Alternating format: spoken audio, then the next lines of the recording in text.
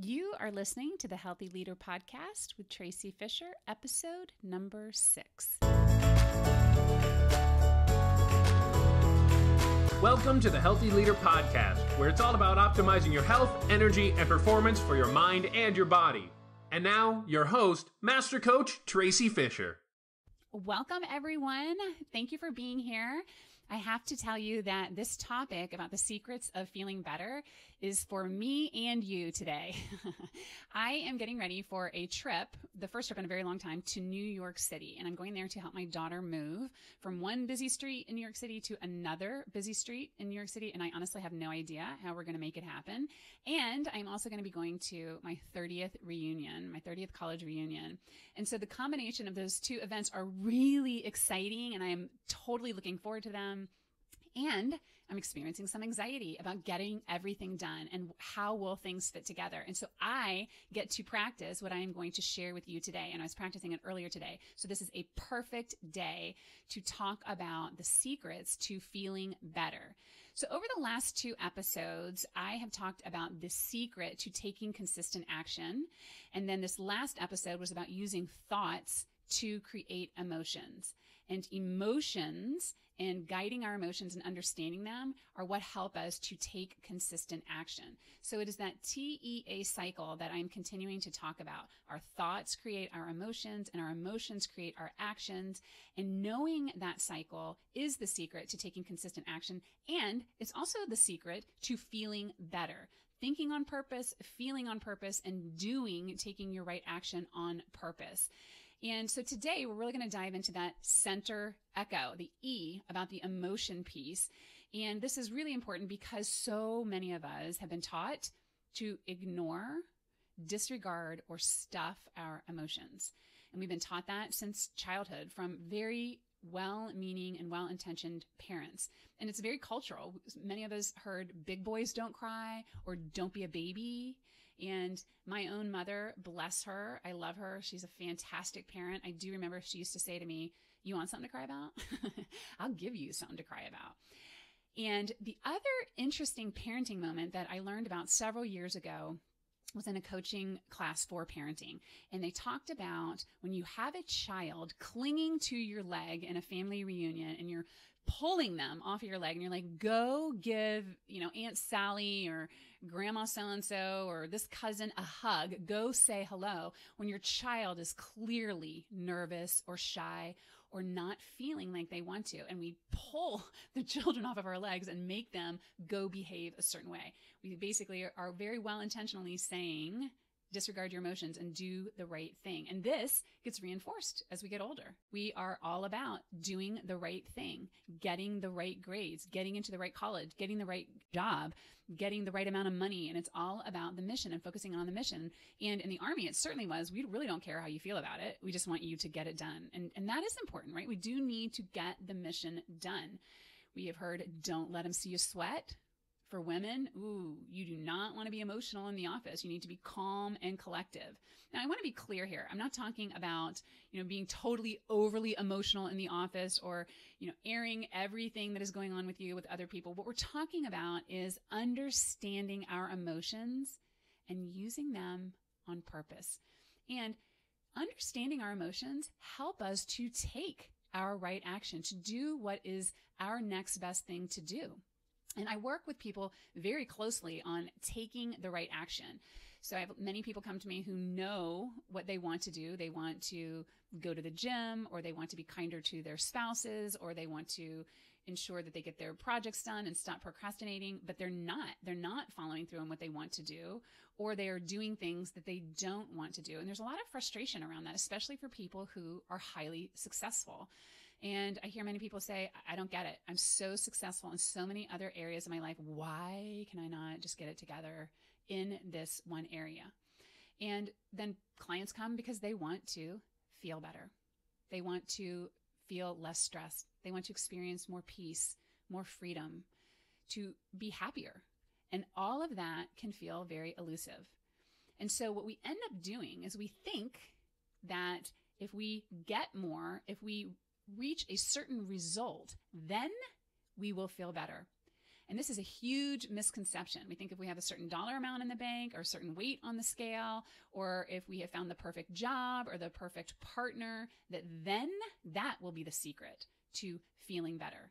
And that, my friends, is totally not true. And I'm sure some of you know that, and I know that from personal firsthand experience and then also from working with many, many executives. And I'll share with you that there was a point in my career where I was running a very successful health and wellness company, and I personally looked the part. I had the lowest body fat that I'd ever had. I had the highest muscle mass I'd ever had. And from the outside in, it looked like I had it going on. Three kids, white picket fence, all looked well, but it really wasn't. Even though I had attained the physical health that I wanted, I still did not have the emotional and mental health that I wanted. And so having the body that you want or the money that you want or the career that you want does not equate to happiness. And many of you know that firsthand as well, that that's not the secret to happiness. And that is an important point that I am clear on at the get go with all the clients that I work with because we know that there's a specific result that they are looking for. They are looking to improve their health. They're trying to improve their energy levels or performance, personally, professionally, relationship wise, communication. And that result we can get. We know how to get that. And that result does not mean that you will be any happier. so people were like, what? Say what? Of course, when I get that thing, that's when I'm going to be happy. And the reason that the external results are not going to make you happy is because it's not those results themselves that make you happy or feel fulfilled or confident or whatever the emotion is. It is your thoughts about that result that makes you have a certain emotion. And I'm going to say that again. It is not the result that you have achieved that creates an emotion. It is the way that you think about that result because our thoughts create our emotions and our emotions create our actions and our actions create our results. And I'll prove it to you. And I want to use something that I learned when I was in I think one of my very first mastermind classes at the Unity Church. And this mastermind class was designed to help you create whatever it is that you wanted in your life, that result that you wanted. And one of the very first things that we learned was to identify what emotion that result would bring us. So you could be looking for a great relationship or to lose weight or just to reduce your golf handicap, repair a relationship, have more work life balance, maybe get promoted or buy a new car. So, whatever the result is, I want for you all right now to get something in your mind that you actually want. And if you are in a place where you can write it down, write it down. Get really specific about what it is that you want. And then here is what we would do in this mastermind course. We would say, okay, well, why do you want that? Or what else? Or can tell me, can you tell me more? And so here's an example. There's someone in our group I remember who wanted a red convertible Mustang. And I think maybe at the time it was like brand new 2000, year 2000. And so this is what the process looked like. We're like, okay, why do you want that? And they were like, because it will be cool. Why will it be cool? Well, because it's a really cool machine. It goes super fast. The driving is really smooth. And we'd say, well, why is that important? They're like, well, that's important to me because it feels special. It feels exclusive. And so right there is the emotion. That person wants to feel special.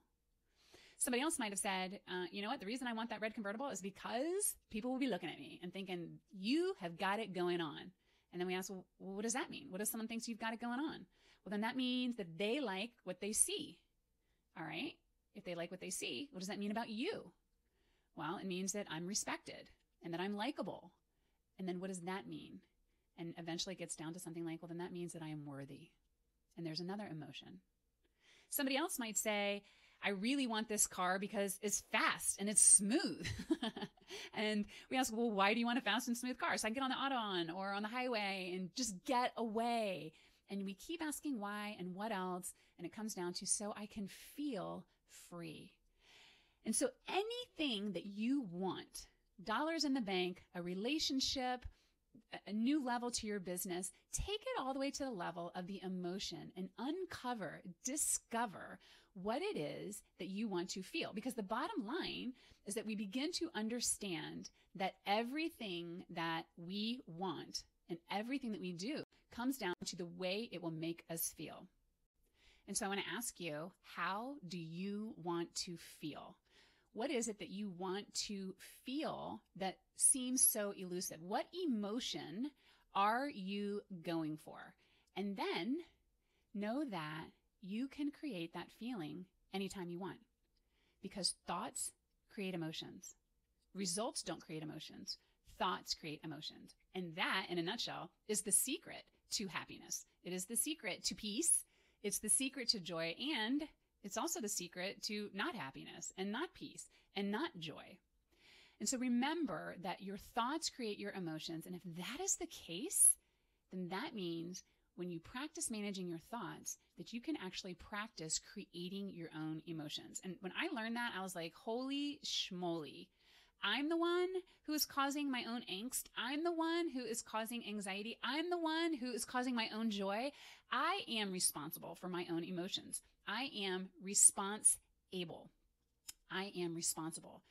So when you are noticing the emotions that you are having, it's a great opportunity for you to say, whoa, wait a second. What am I thinking? What am I creating here?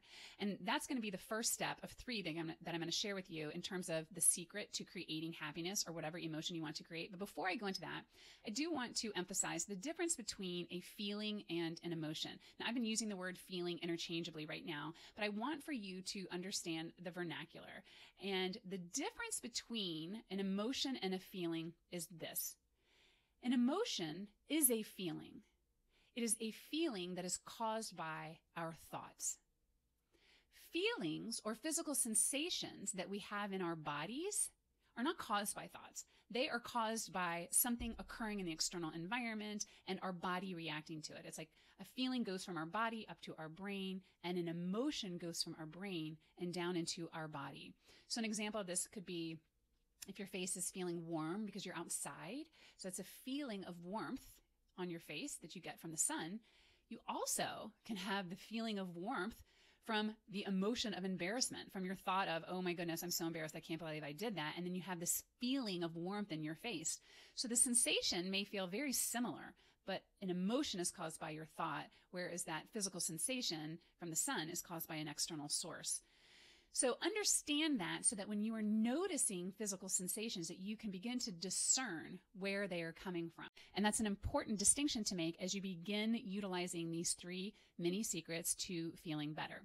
So I'm going to share this with you now, and I want to tell you that I like to keep things simple. I like for you to be able to use them immediately, for me to be able to use them immediately. So all you have to remember for these three mini secrets is childhood fire safety, stop, drop, and roll. So the first one is to stop. And what I mean by that is to literally stop. Stop writing the email. Stop in mid sentence. Stop yourself. Interrupt the rush to go to the next thing so that you can be present. So that you can be present to those physical sensations because those emotions do begin with a physical response. And many of us just ignore it. We aren't even aware of what is going on. So, for example, our anger might be showing up as a rapid heartbeat or sweating or that warmth in our face or even chest tightness.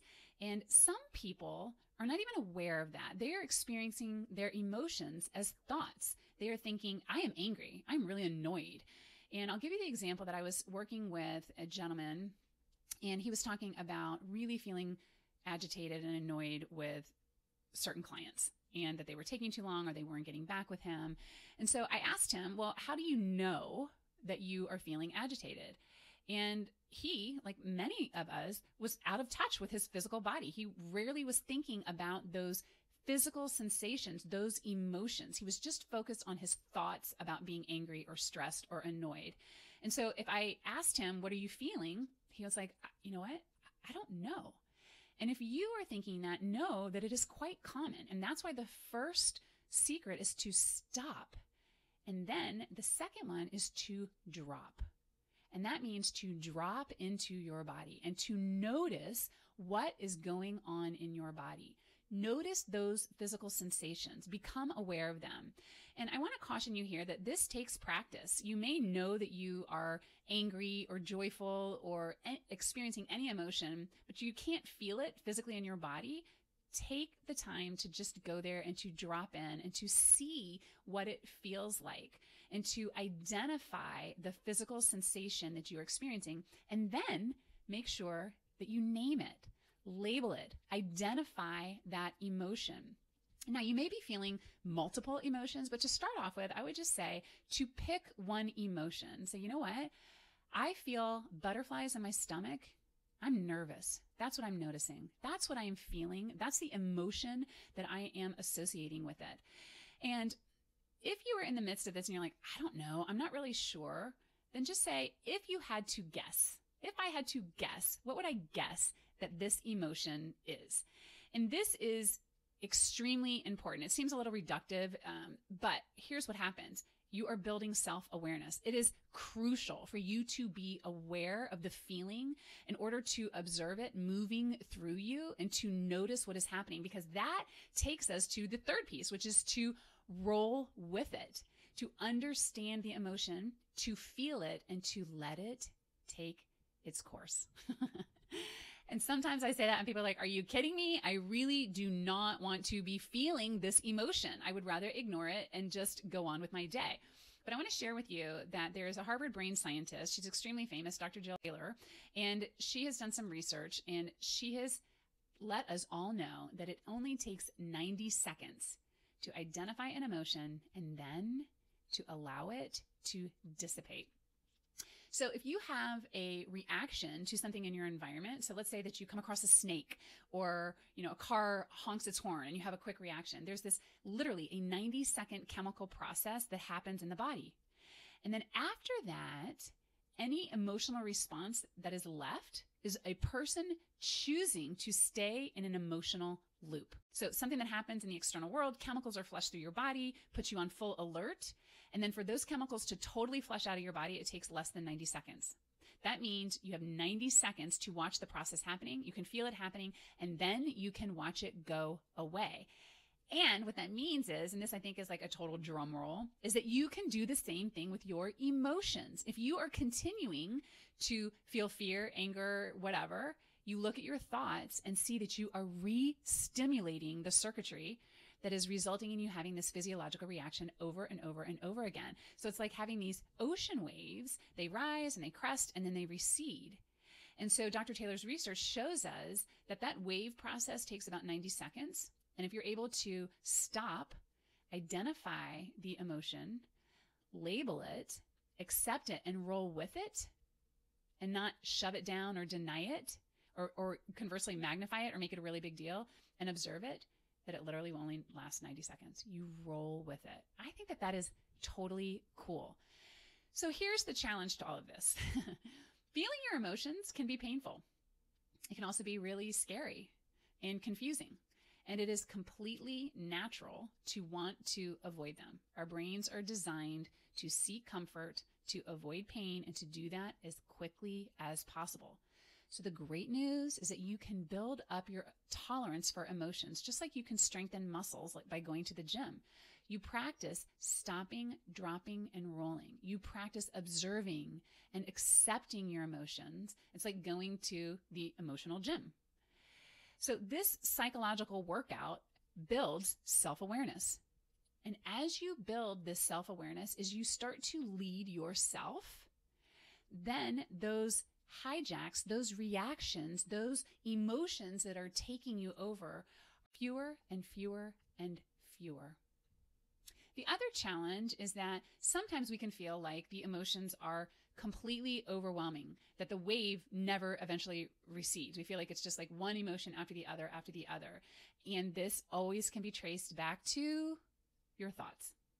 And when we are feeling stuck in a constant thought and constant emotion. And many times I hear anxiety, overwhelmed, self doubt.